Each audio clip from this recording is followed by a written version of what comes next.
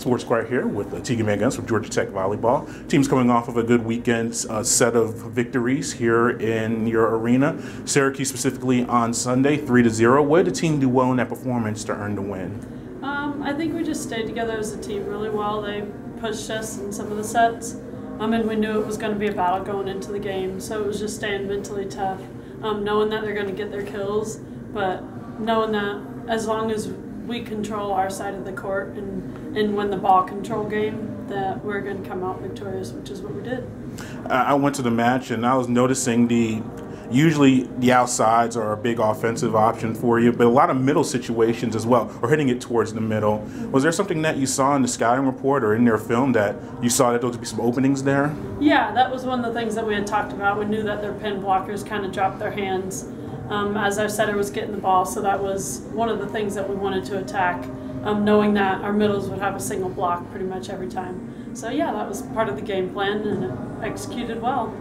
And another double double for you. We, we, we talk some statistically we talk so much about your kills and you're among the conference leaders in that regard, but also with the digs. And we spoke earlier in the year about you taking pride in being a two kind of a two-way player as far as your digs. What does these double doubles mean for you? Just showing your ability to defend as well as being an offensive force. Yeah, and I think it also goes into our blocking. Um, has been pretty well this season too. So they're just, I mean, the ball's coming right at us a lot of the times, which is a testament to what our block is doing. Um, but like you said, I take I do take pride in, on the defensive side of the game too.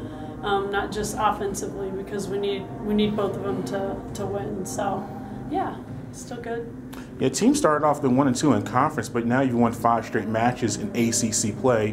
What's been the difference in the play for the team to have these victories? Um, I think we have a lot more confidence in what we're doing, um, coming into the gym every day and working hard, um, and knowing that we can beat teams. I think is a big thing. The mentality that we have going into games um, is a lot more positive, and and knowing that we can win.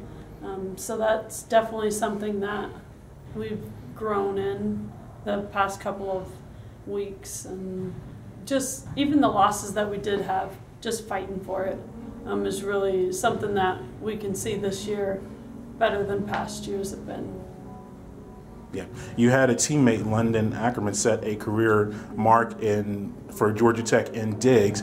Uh, discuss helping her reach that mark, or and just you came in together as as, as freshmen, and just your path together.